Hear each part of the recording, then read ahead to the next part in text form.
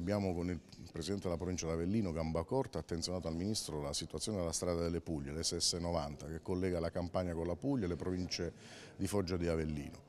Nell'immediato ci saranno degli interventi per circa 8 milioni di euro che sono di messa in sicurezza della strada e quindi interventi di manutenzione straordinaria di somma urgenza. Dopodiché abbiamo manifestato la necessità che quella strada venga attenzionata e interessata da un intervento di manutenzione più consistente che non si fa da, troppi, da troppo tempo.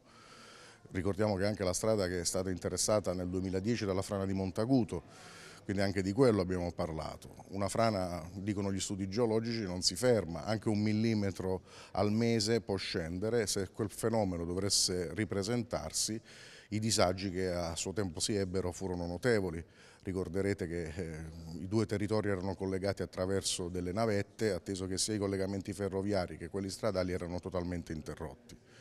Da questo punto di vista abbiamo ottenuto dal Ministro l'impegno a sentire subito la protezione civile per acquisire questi studi e per vedere come scongiurare questo pericolo che potrebbe essere lontano ma potrebbe essere anche, non dico vicino, ma di medio termine, proprio perché la natura non detta i tempi, non li, non li fa conoscere prima.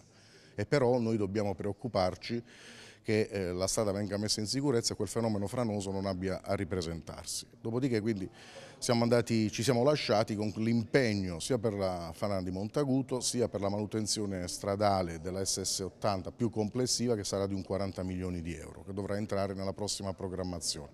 Circa 22 milioni di euro per il tratto avellinese, quello campano, la rimanenza invece per la, il tratto della provincia di Foggia.